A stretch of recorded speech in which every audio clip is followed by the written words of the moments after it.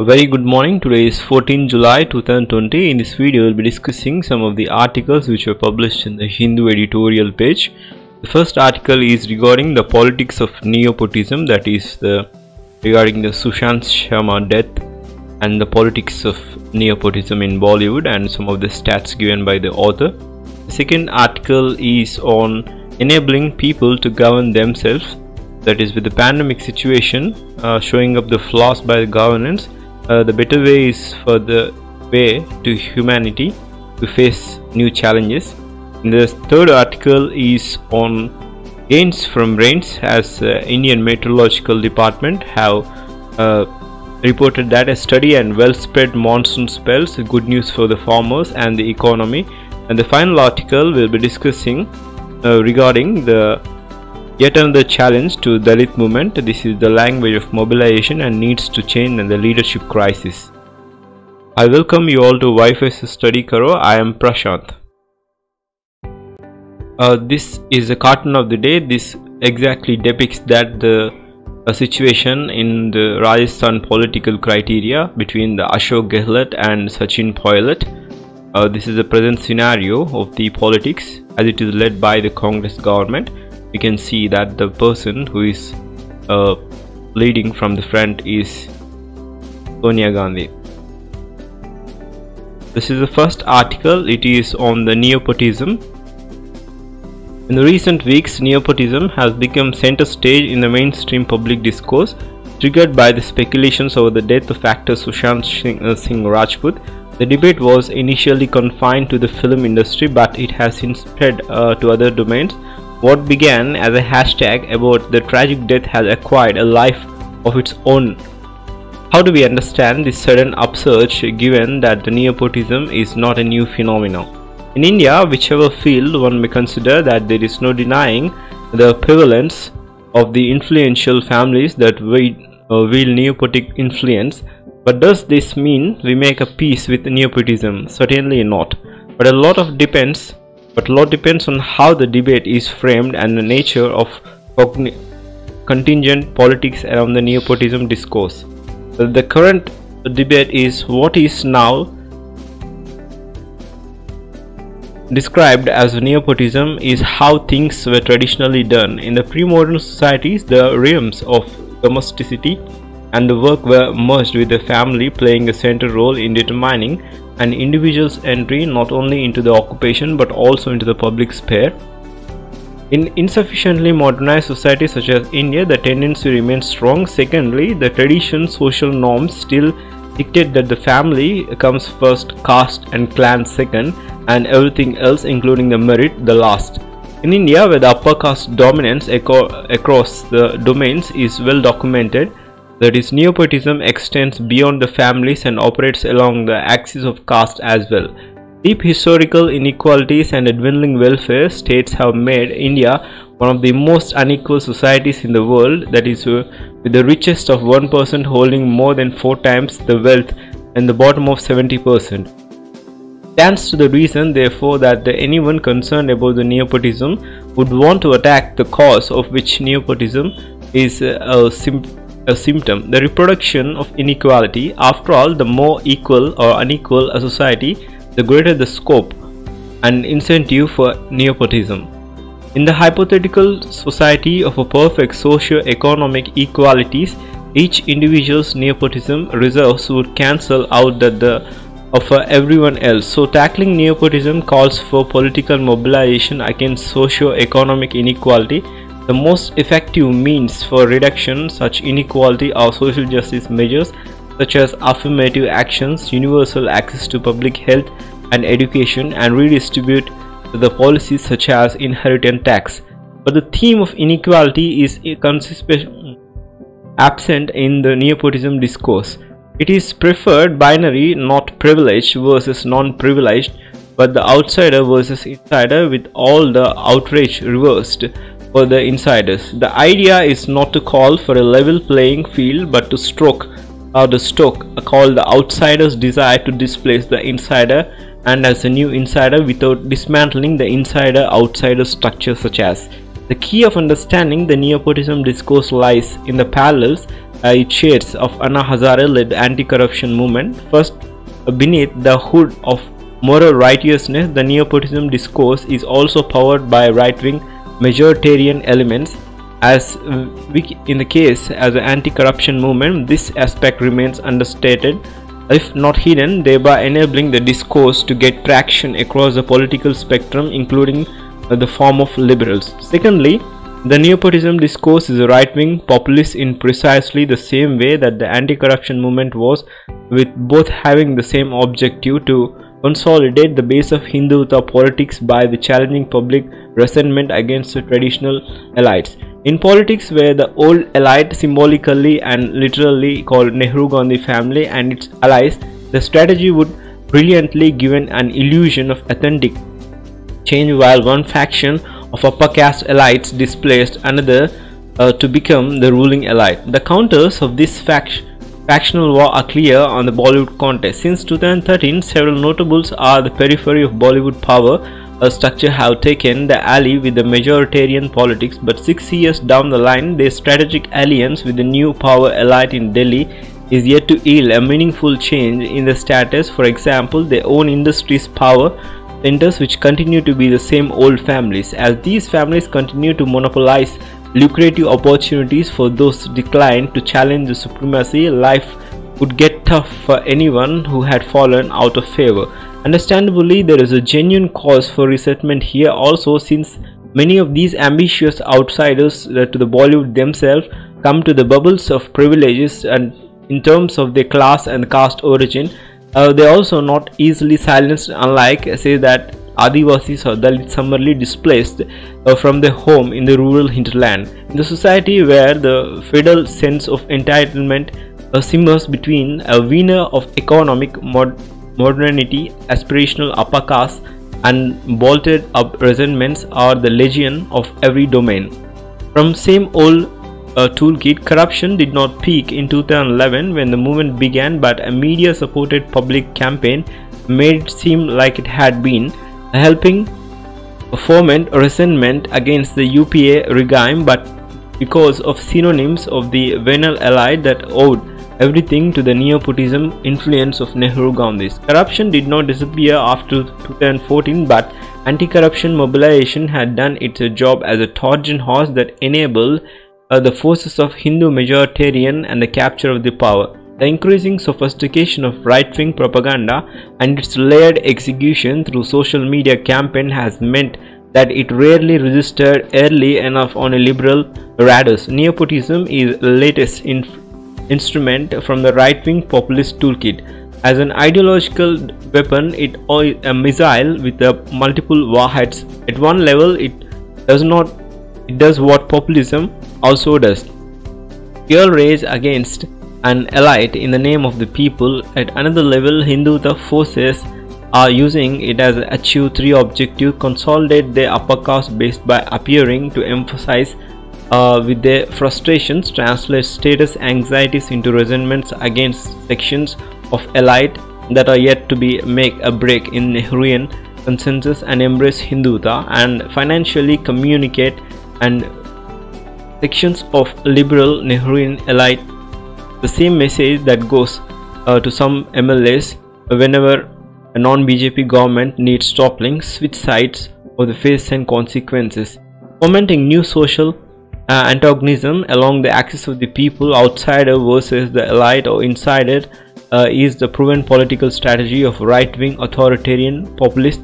The nepotism rhetoric is similar operation where the resentments and the frustrations of the less privileged aspirational upper class and middle class are sought to be weaponized against the order relatively more privileged upper caste functions now authored as a Nehruvian elite. The nepotism discourse then is another uh, salvo in the battle between the two elites that is Nehruvian ancient regime with the pluralist instincts and the brash new aspirational faction that want its share uh, of the spoil of the power. This share it feels elite to the basis of the political containment or commitment to Hindutva but given the heavy competition and the small size of the pie, a great many uh, feel deprived and resentful as they see the old liberal elites continuing in their privileged perches as always there be.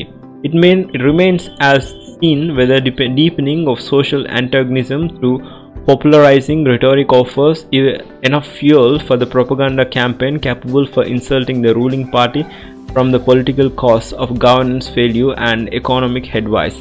This is regarding the politics of uh, nepotism. The discourse of Salvo is a battle between two elites. The next article is regarding uh, Dalit movement, the language of mobilization needs to change. The pandemic is forcing and us to understand the changing of the nature of society in North India, especially or specifically.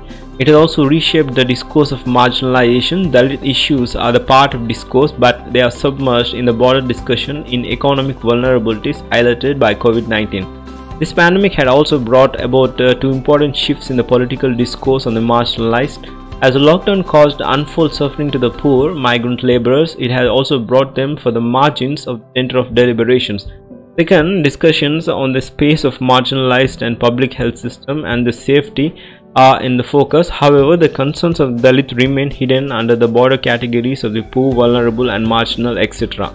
Uh, changing the vocabulary in contemporary debates, there is a reappearance of the class-based vocabulary. Caste-based issues have been either become invisible or only visible as a part of wider discourse. Leaders such as uh, Bahujan Samajwadi Party Supremo Mayawati and Bhim Army Chief Chandrasekhar have not been able to engage effectively with these new shifts. They have not been able to carve out the location of these new debates for their own politics. Now they have uh, to reorient their exclusively caste-based language and reshape their political discourse to be in tune with the times. There are large number of scheduled castes and scheduled tribes among the migrant laborers, but Dalit leaders in North India have not been able to represent their concerns. The dilemma is how to address their constituencies using the class terminology such as laborer and poor even as a majority of migrant poor as Dalit and OBCs. The dilemma has also made uh, Dalit leaders non-assertive. It is possible uh, that these shifts at political debate may continue in the post uh, pandemic phase for at least a few years as the vulnerabilities of marginalized will increase. The Dalit movement in the North India is inhabited in using caste-based binaries in its mobilization language but had failed uh, to respond to the changing political diction. In fact, the leaders have not changed their political diction uh, for 30 years since the time of uh, Kanshi Ram led by Bahujan movement. The movement is facing the crisis of agendas and also social programs. The constant repetition of unfulfilled claims and commitments and slogans and promises create disillusionment among the sections of their support base. Another issue is that the Dalit movement in North India is grappling with a leadership crisis uh, during the Bahujan Samajwadi Party Bahujan movement in 1990 uh, the idea was that the movement was the party could facilitate each other but the BSP which emerged uh, as a Bahujan social movement developed gradually as a party structure like a pyramid. Under the influences of Ambedkarite ideology and Dalit Bahujan movements, an assertive and politically aware Dalit consci uh, consciousness consciousness was being formed among the section of Dalit groups. This is regarding the language of mobilization needs to be changed because the pandemic forcing uh, to understand the changing of nature the politi politicians should also change the strategy. And there is a huge leadership crisis regarding this. The next article is on enabling people uh, to govern themselves. Govern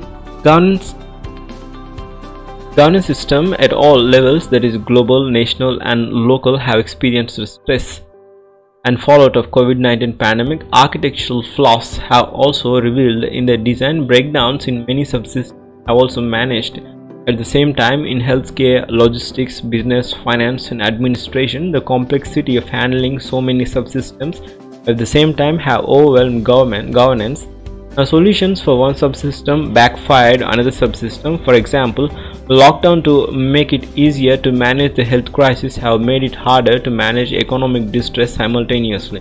In fact, the diversion of resources to focus on the threat of life posed by COVID-19 has increased vulnerabilities to the death a form of other diseases and even for malnutrition in many parts of India. A mismatch in the event. Human civilization advances the evolution of better institutions to manage public affairs.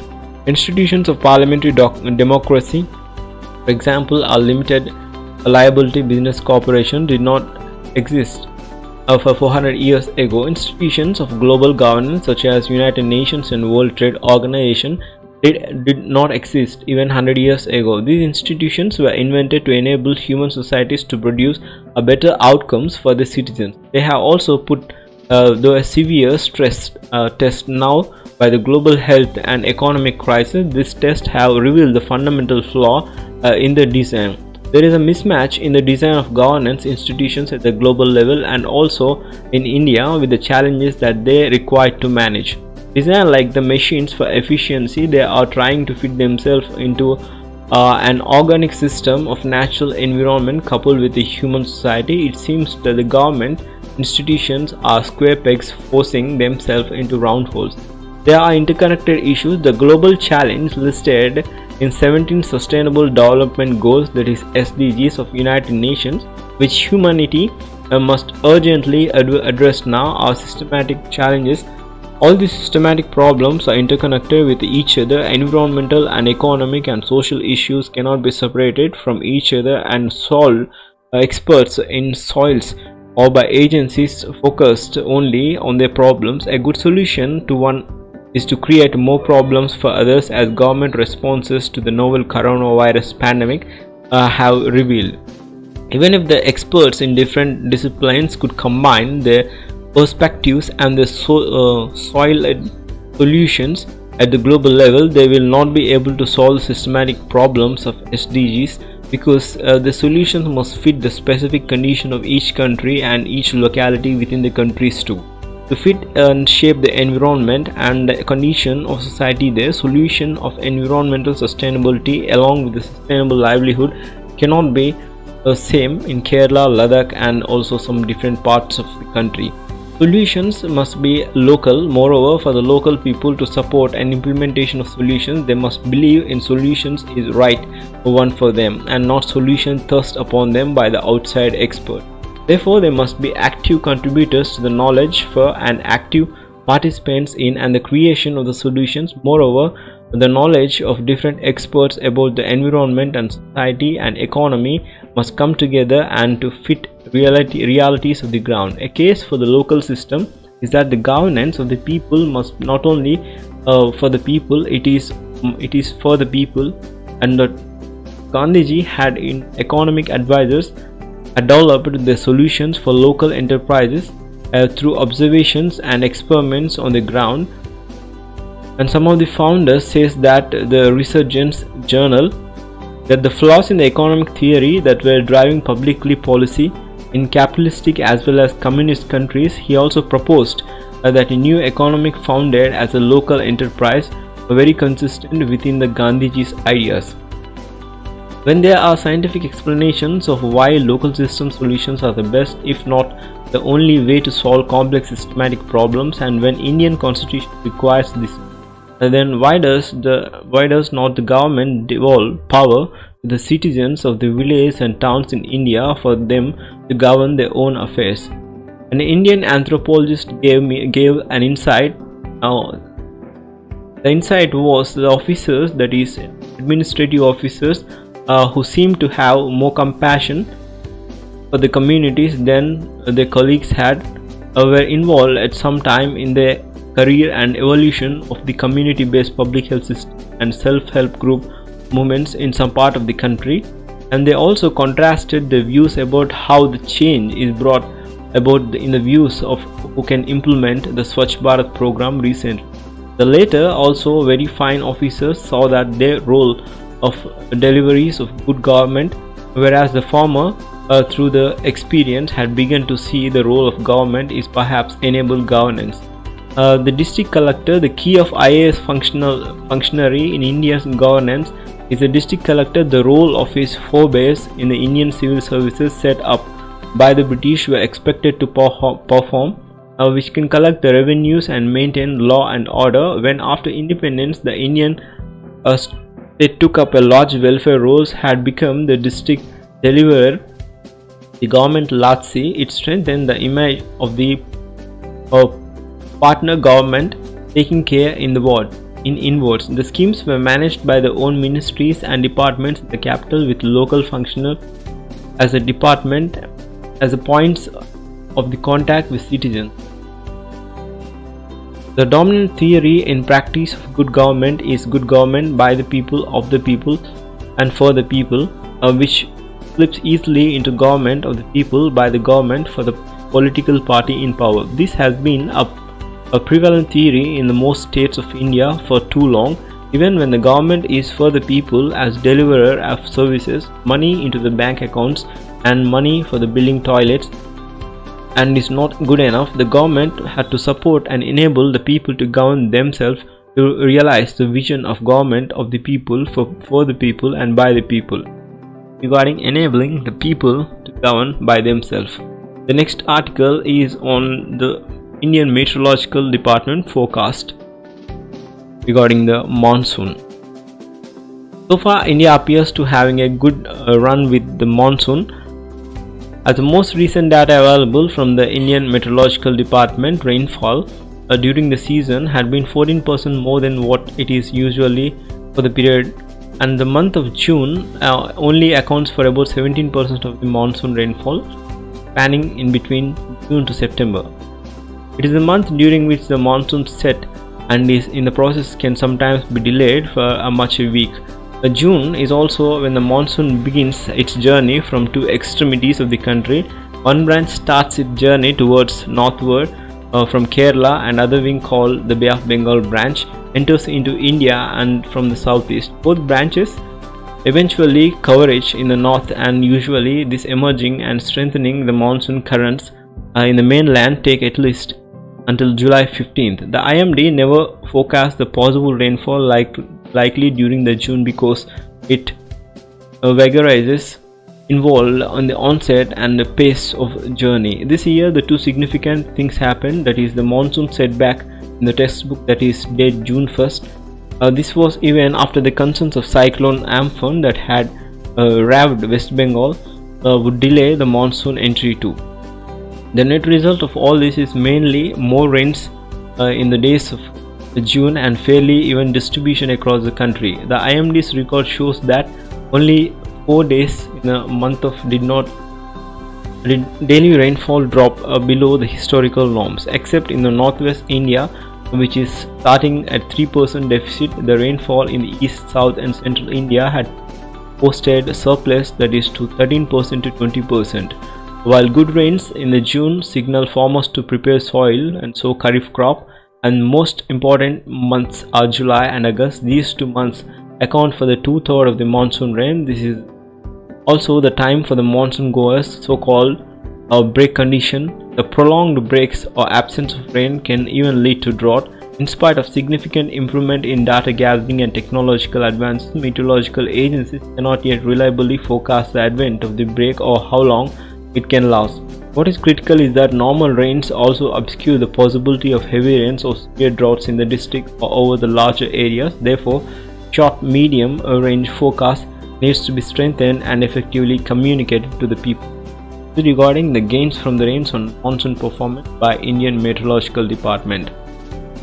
Uh, that's the end of article discussion. If you are new to my channel, I request you all to subscribe and hit the bell icon so that you will not miss further updates. Thanks for joining me. Have a great day.